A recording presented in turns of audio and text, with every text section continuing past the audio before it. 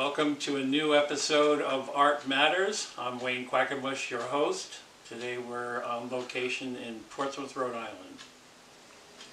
We're here with uh, architect and artist Gary Graham in his studio.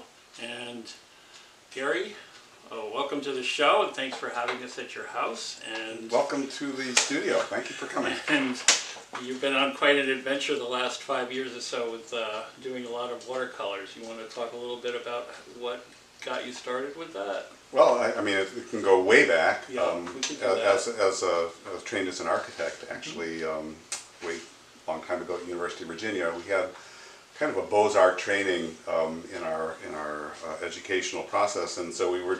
I've learned to do washes and, and watercolor renderings and things like that, but at, at least at the very earliest stages of my career. You probably had the equivalent of a foundation course where you had to kind of dabble in That, everything that, that was what we, before we you did. specialized in your architecture. And and, uh, and so architecture. I mean, we learned how to draw. Nowadays, nowadays they don't so much. I mean, because of the computer. Oh, right, of course, yeah, yeah. But uh, but uh, and we also um, learn some level of media uh, and composition and those kinds of things. And but but basically, I've been a practicing architect for the last uh, 50 years. Right, and practicing means that occasionally doing a lot of drawing but not a lot of painting.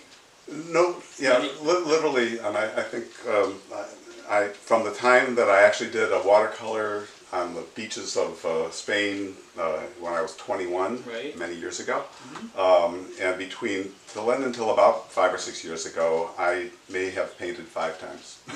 you know, so really I wasn't a uh, an active painter. And I was a very active architect, and and uh, and frankly still am, and still Right. have a practice. Right. And you're also teaching a lot. uh, Well, I, yeah, uh, like, that's one reason we're in Rhode Island. Uh, we were living in up in Boston, Newton, uh, Newton area, and uh, we we came down. I was uh, adjunct teaching at Roger Williams University's architecture program, and about uh, now in 2008, um, I became a full-time tenured professor uh, of art, or, or associate professor of architecture Yep, and uh, so and, and teaching and frankly uh, interesting i mean because uh, when i had studio courses uh, though that was the time that basically reintroduced my sense of drawing. I mean we because I, I had to communicate with students and, and i used to take a bunch of uh, yellow yellow tracing paper and, and, and, uh, and just sit there with my students and, and, uh, and I, I found I found I was really enjoying the drawing. Sure, um, and uh, which you know, I mean, there's a lot of non, you know, kind of artistic aspects of being an architect, but uh, but that that was really that was really nice. Sure.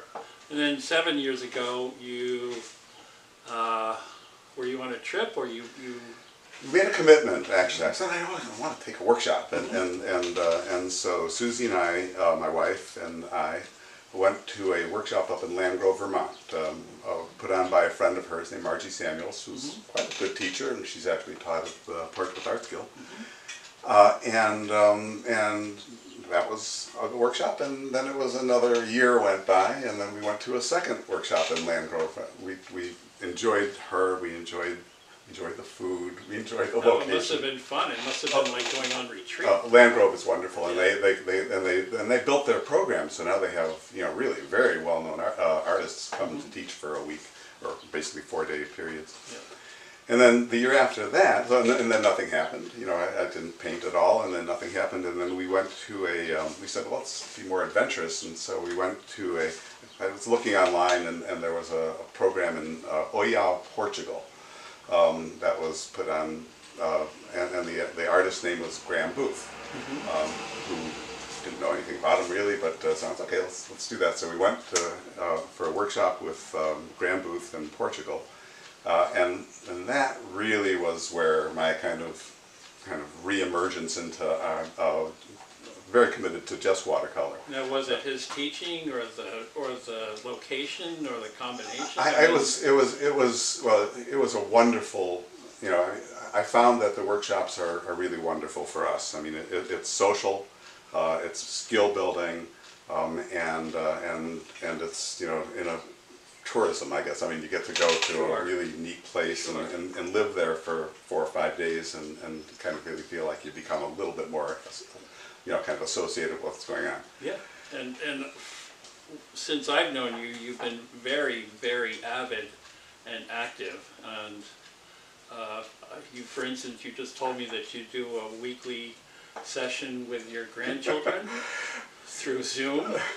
And Well, this is Monday for us. I don't know when it will air, but uh, and, well, yes, that was uh, that was yeah. and, and well tonight um, at uh, 7:30, uh, which is 4:30 LA time, where Right. my, my grandkids are. Uh, we will put our I get my camera set up and my, my work area, and and, uh, and we'll paint something together. Now And- you never you didn't do this before the pandemic though. Oh, nothing, No, nothing, You learned, you nothing learned like. new skills since then. But you also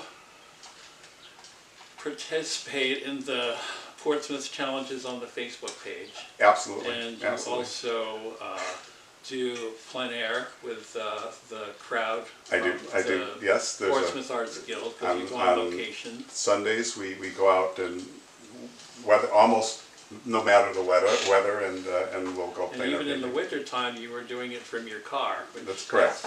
amazing. And parking in the side of the road or in a parking lot and just painting inside your car with the heat go on and the engine going. Yeah, But that's, that's a lot of dedication. Now we need to start Oh, looking at some oh. of your work. all right. Um, well, we'll talk about a, a, uh, well, plein air. Um, so, Now plein air is, for, in case you need to know, is uh, basically just painting outdoors from nature. and, and so, oh, this is about a month ago now, um, we went, we went. Hold it vertically so Okay, can you see? Michael can see it. Uh, we went to a little park in Providence. I now I forget the name of it.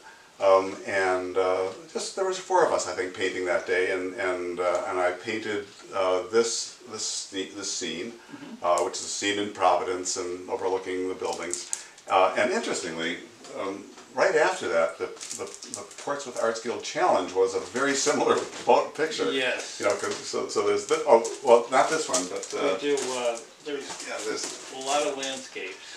But And uh, that was a church steeple. yeah. And then this Uh, and and uh, this was pretty much in the middle of winter. yep, This is this is a scene over at Colt State Park where they have the stables. Um, Yes. And it was a cold day, but we just parked the car uh, right in this location. Uh, and this was one of the uh, the PAG, or this is this happened to be a uh, plein air thing. So, so that's how I catalog everything. I have their they're, they're either plein air or and, and I take lots of workshops online also. Right. which I could. You know, absolutely. well, well, here's here's a just an example of a PAG challenge. Uh, this challenge was probably within the last two months or so, I would say. Yeah. Um, and uh, I think the theme was more of a, a, a rural scene, and, and I, I actually I think I may have put this in the the recent uh, um, show that was uh, City and Country. Oh, right. City and Yeah, Country. yeah. Actually, so there's that. I have to say, Wayne, I, I, since March, last March, I've painted at least a hundred paintings, I'm gonna. So it's like I've, I've got, a- I've got a Two lot. paintings a week. I probably, I started doing something every day, but I, I got too busy, so Um, now I'm, now I've only done three or four paintings in the last, well, did want to show this one actually. This, this is um, the um, Cutler Mill, and, and again, uh, from the car, plein air um, in, in the kind of uh, midwinter. Uh, and uh, this was, you know, we're, we're having a lot of fun. Our, our, our plein air group is, does have a lot of fun on, the, on those Sunday afternoons and so forth. Let me, let me show you an example of a, a painting that um, I did with my, my kids out in California. Um, this is this is a, a scene on uh, I believe it's um, Malibu Beach or someplace like that. This is one of those lake guard guard shacks, um, and uh, their their um, their grandmother had taken some photographs that were very similar to this painting, and so we re- we really had a nice time with this particular subject. It was Right. Really, really, really pleasant kind of thing. Um, Oh, can I, let me mention, so, so the, um, over the course of the COVID era, I mean, I- I've, I've really enjoyed my exposure to a, just a number of artists and, and in, on Zoom classes. Um, I, wonder if it will continue after you know, when, while we're, when things get back to normal, because, I mean, it's so easy to, I mean, this is, a- this is again, that my, my, um, Well, it's the potential to working with people from different areas of the Right. country and the world. Or the world. I mean, I think people like you are just learning uh, to make use of that because you don't have to be in the same room to communicate. I know you lose a lot from not being in the room with people, but uh, it's a great substitute. Well, so this is my, my guru, the, the guy Graham Booth, um, and this was, he had a series of, um, two series of six-week workshops um, that ran for basically a week each, and uh, this was one of one of the, the subjects for the week, and, and he he just, I mean, if I could learn to you know be able to express myself artistically and and uh, you know the way he does, I mean, I would be very very happy. This is, and so that's that's the kind of thing that that, uh, that we do. So how long do you usually sit to do one of your paintings? I'm sure it varies obviously be- by subject matter. Um, yeah, you know, it doesn't. I mean, okay, so there's there's like four four major steps to, to the process for me. Yeah. Um, one is the composition, you know, kind of assessing what a good photograph is or a good scene is if you're plein air uh, to use. Uh, the second is the drawing. Okay, so and, and so I'll probably spend more time on the drawing. I mean, literally, probably more time on the drawing than the painting, practically. Um, so to get the, the proportions correct, the perspective lines right, to make sure that it's you know re- really feeling correct, I, I, I will spend some time on the drawing. So that's, that's the architect in you. You're building the Yeah. skeleton and, and then Yeah, the color on. I, I, I think for, uh, again for, I know me. watercolors that just start throwing paint. Yeah, yeah, I, that's not me. No, I, I, I need I need to have the structure of the drawing. Yeah, that makes a lot of sense. I'm And then- glad that you were able to talk the, about and then the next step, which is one that I've learned from my gurus and teachers, um, is that first wash.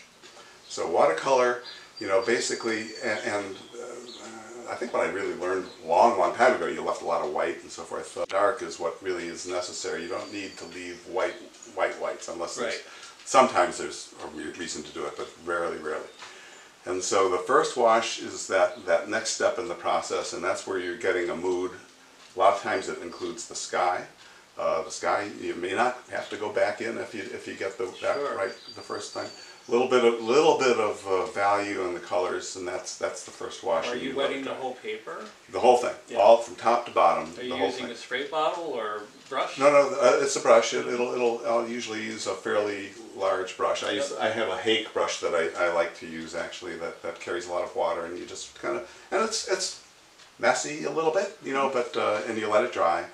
And then the next phase is when you begin to incorporate the values and, and, and shapes and the forms, and, and I, I work pretty hard at, at getting uh, that correct. And because the final stage is the detail, and, and the de- you know, I, I, and I always look at paintings in, in the middle of the process. It you know, I, God, am I going to finish this? I mean, it's terrible. Yeah, I know the feeling.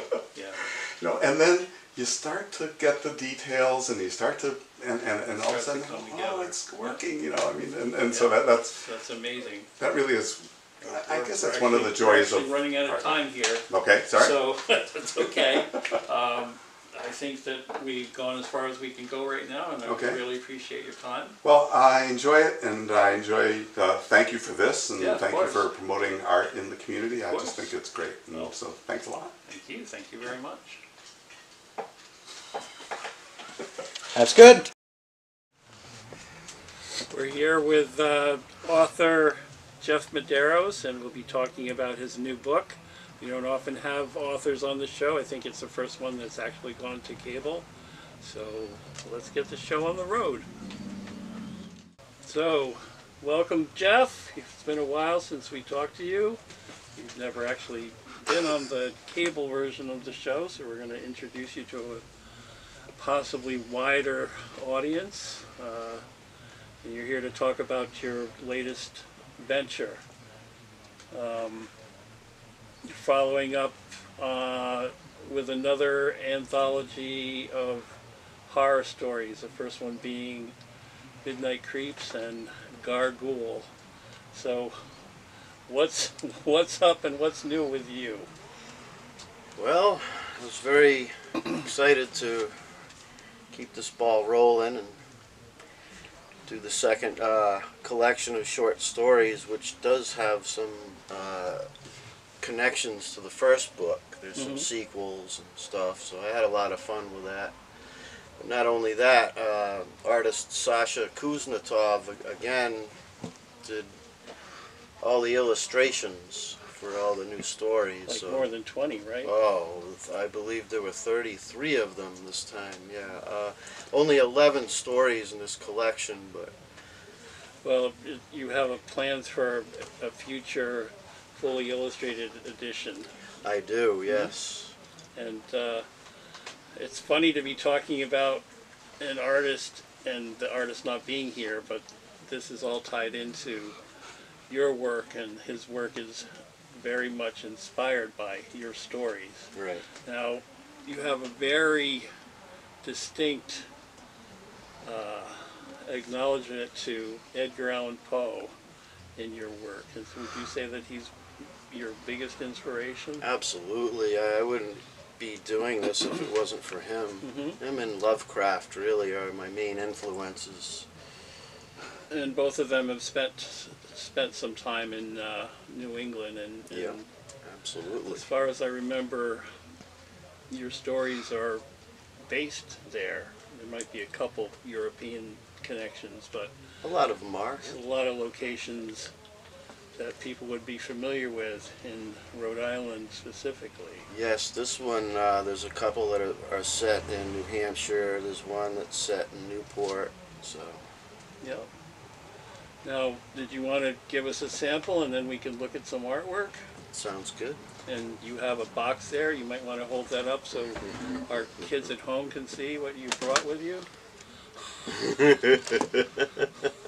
That's a fairly evil laugh. and what's the title of this work you'll be This reading one- an excerpt from? This one's the one that's set in Newport, and it's called The Viles. Hmm That would be V I A L S.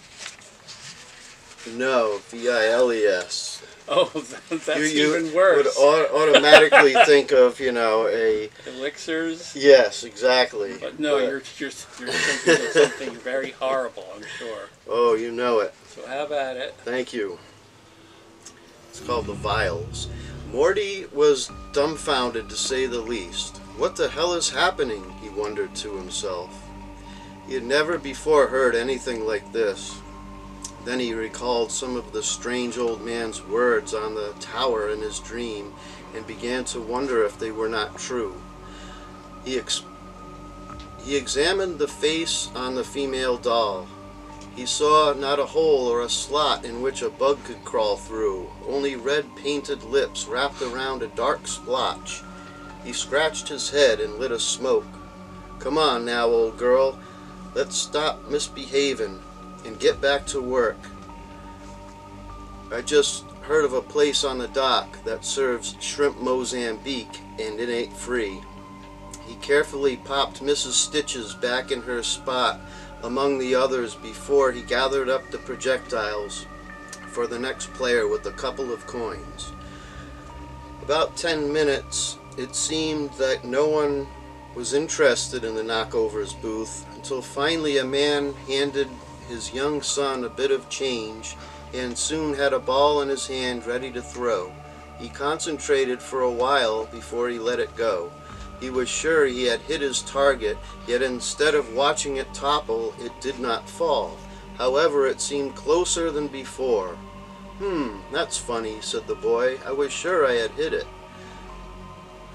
He stared at his target with intensity before the second throw. Again, he was confident that he was spot on with the shot, and he was sure he had folded it over, for it was no longer standing with the others.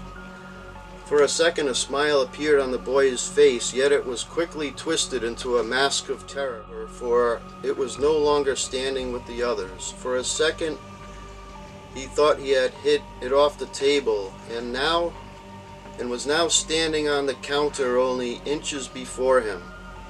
He screamed as he turned to flee, yet After only four or five steps, he suddenly froze in mid run.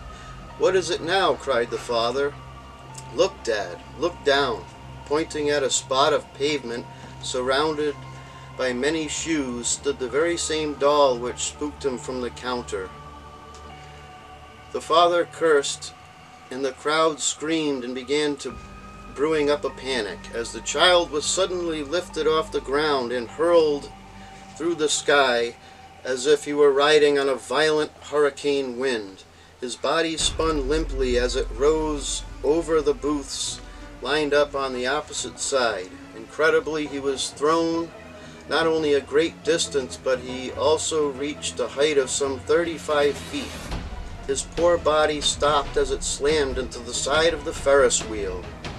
Landing inside one of the chairs, folks were now heard screaming from the top of the ride as the lighted monstrosity slowly spun, the bulbs of which were now beginning to blink oddly for the first time ever, as if the unbelievable insanity the crowd witnessed wasn't enough of a strain on their senses.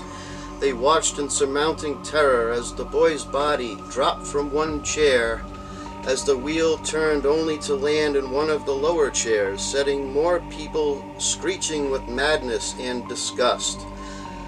The father froze like a statue with his head turned up, his jaw wide and his eyes climbing out of their sockets. All he and everyone else could do was watch in complete disbelief as the boy's body either kept spilling out of the basket it landed in, or it was pushed off the laps of the frightened passengers only to fall into yet another set of chairs. It happened several times as the giant wheel made a complete revolution before the operator could stop it prematurely. Morty was as disturbed and devastated as the boy's father about the troubling events. Again, he found himself thinking about the words of the strange man in his dream. He too seemed frozen and disconnected as the crowd around fled out of the park as fast as they could move. Some of them were trampled as the roar of the crying crowd grew louder. But all was now completely silent in Morty's head. He had tuned out the sounds of the mayhem. In that moment, nothing made sense anymore. All he heard now was the repeated words of, of the tomb looter and he knew he was indeed losing all control of his little lovelies at last. He felt a swirling in his gut then, for he knew the game was up. The quick and easy way he had made his coin for many years was now gone. He'd have to find himself a complete new gig, starting from scratch, maybe even stoop as low as to get a real job. The mere thought of such a thing made him evil. He was next to broke and found himself wondering if he was not in some kind of trouble. Yow. Well, that was uh, certainly took an unexpected turn. you want to show us some of Sasha's work? I'd love to. And you can talk about the the stories a little bit.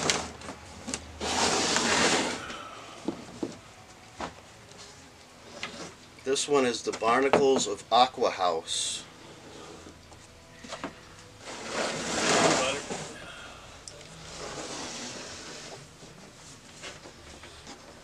Now, this one is about an eccentric seafarer, a captain who lives on an island, a secluded island, uh, otherwise uninhabited, and he has an exhibit of these sea monsters and creatures that he's brought up from the depths of the ocean.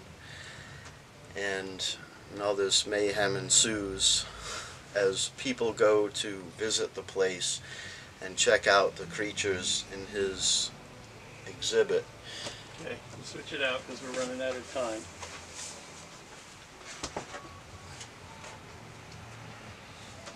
This next one is called the Little Yaoguai, which is a Chinese word that means demon.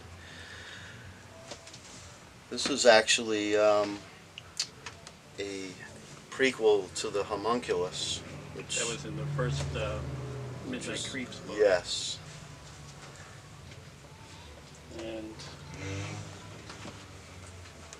One more. This story is called The Ickling Tree. And it's a story of a a young well it, it's a story of a woman who claims when she was a young girl that a tree not only tried to consume her but ate her brother and her dog. And that's pretty much the the gist of it without giving too much of the story away. it Makes you wonder if people disappear into trees all the time. Yes. The thing is, it's not actually a tree, Uh huh. but I won't say anything more than that. Ickling, that's a good good name for it.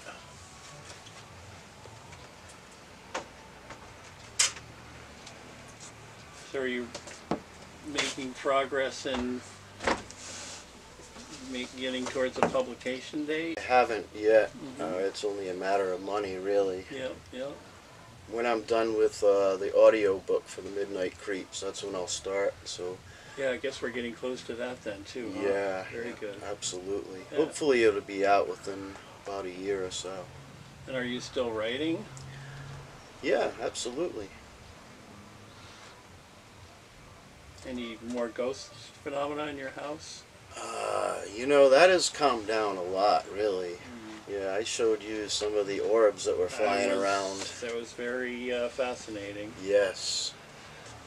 Well, Jeff, I'm glad you took time out of your day and came and talked to us. And uh, Me too. Thank you for the opportunity. absolutely, great to see you. And that wraps up another episode of Art Matters. Thanks for joining us.